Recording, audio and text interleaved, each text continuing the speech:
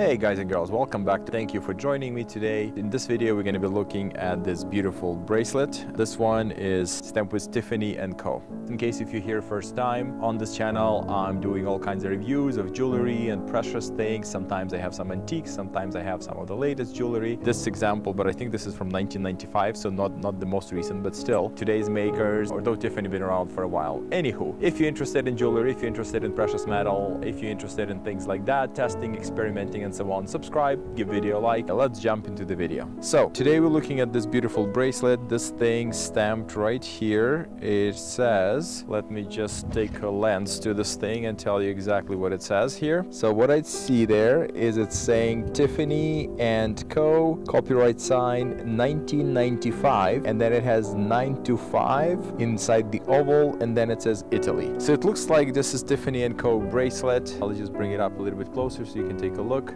basically up close. So that's how it's looking here. There's only one mark so there's nothing on this side here nothing at all. And then if we go over this way it looks like we have uh, it's upside down but let's just flip it over. It looks like we only have one mark right here on this side. You should be able to read it now. Right there.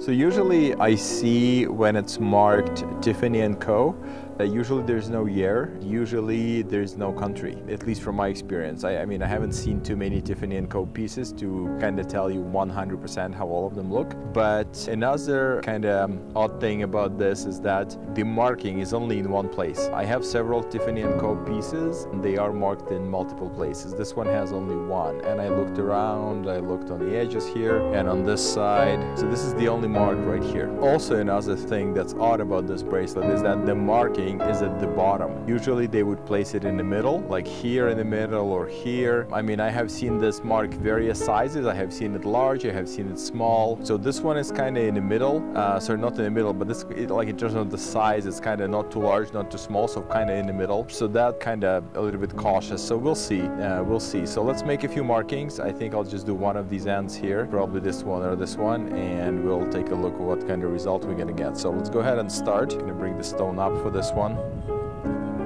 We're gonna scratch it heavily. Let's make maybe a few marks just to have consistent results. Usually I would do maybe two or three. We're going to be using our 18 karat gold acid for this. So if this bracelet is real, mark should turn basically bright blue and after that it's going to turn to white and then it's going to remain white for a while and then within a few hours it's going to turn purple if we were to keep it um, going. So that's the first mark right there. Nice big mark. And let's do second one maybe uh, with this side of the bracelet here. So let's just move it a little bit. We're going to make this one um, technically just vertical. So let's just do that. There we go. Okay, so this bracelet was picked up from thrift store, actually. When I picked it up, I was thinking that this is silver.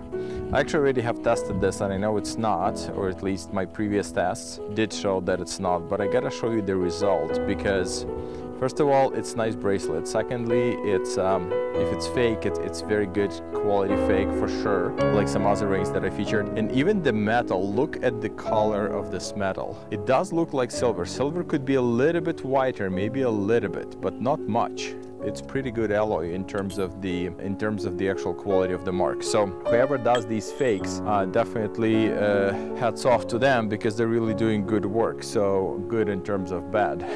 so we have our 18 karat gold acid. Let's go ahead and make our marks to see what's gonna happen here. First mark and second mark.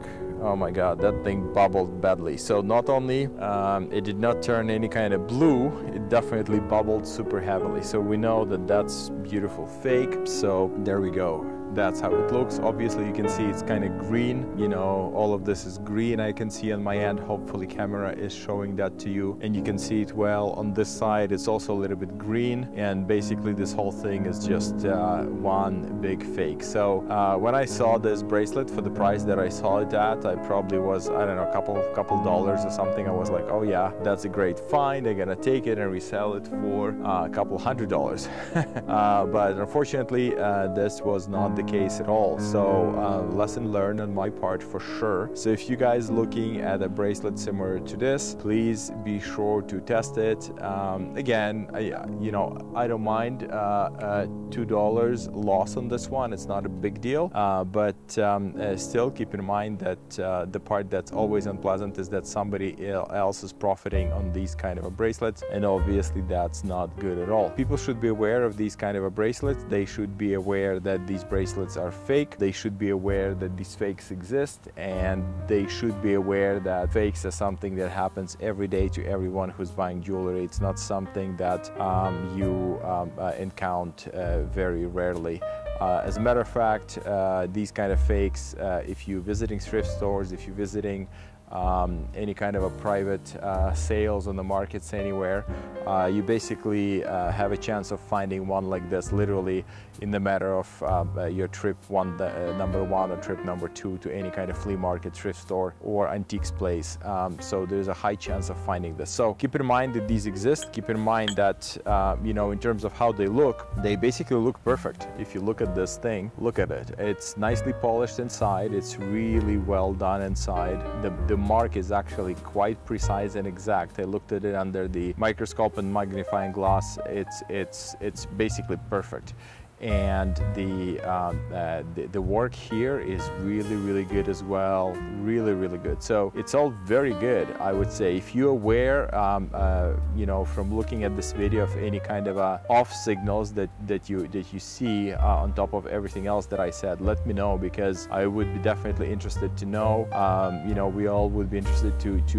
know the way of identifying that this is fake uh, just by looking at it instead of actually doing any kind of um, um you know testing because a lot of times we cannot really do any kind of testing when we're in the store or at the flea market right there on the spot. So, so you know, we always appreciate any kind of good comments in terms of good ideas for what it is and, and, and how it looks and so on. So uh, definitely give me your feedback. Uh, I definitely would be interested to know more about this particular piece or in general uh, Tiffany & Co. Uh, pieces. If you have any ideas in terms of what's the best way to identify them, um, you know, please let me know. Of course, we all should go to Tiffany & Co. and buy uh, from them directly and pay um, their prices for the quality and so on. But unfortunately, not all of us able to do that. And you know, uh, when people thrifting, they're not looking to pay the highest price possible. So there we go. This will be the end of the video. As always, subscribe, like the video, comment, let me know what you guys think.